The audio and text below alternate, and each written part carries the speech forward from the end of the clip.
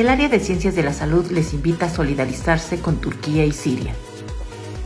Sí, es un centro de acopio para ayudar a los damnificados de Turquía y Siria. Estamos recibiendo alimentos no perecederos de lunes a viernes de 8 a 3 de la tarde principalmente enlatados, granos que tengan una caducidad amplia, que no sean perecederos, que no estén preparados para poderlos enviar y que aguanten todo el tiempo que van a tardar en, llegar a estos países damnificados. Eh, vamos a juntar todo lo que esté donando la comunidad universitaria y la sociedad en general y lo que quepa en el vehículo que tiene el área de ciencias de la salud lo vamos a transportar hacia un centro de acopio concentrador que estamos trabajando para encontrar este lugar indicado para garantizar que lleguen los insumos hacia el destino para el cual fue diseñado este centro de acopio. La comunidad universitaria se ha, caracterizado por ser solidaria, igual el pueblo de Zacatecas, entonces invitarlos a que confíen en la universidad, en que nosotros vamos a hacer llegar estos víveres a su destino.